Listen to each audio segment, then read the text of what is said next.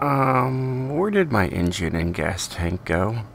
Let me show you guys something on this. Let me show you guys, uh, when you're upgrading this Pontiac GTO, something weird happens.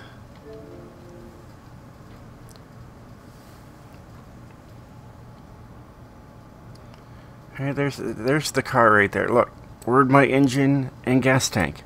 When when I take off the roll cage, look at that. What?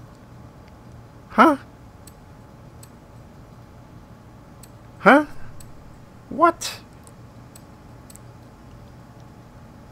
I don't get it.